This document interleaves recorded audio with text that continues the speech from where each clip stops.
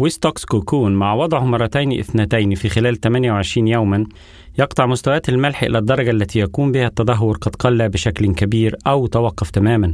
إن الطبقة الأولى من ويستوكس كوكون التي يتم وضعها عن طريق استخدام المسطرين أو الرش بنسبة تغطية من 6 إلى 7 كيلو جرامات لكل متر مكعب يتم تركه في المكان لمدة تقرب من 14 يوما.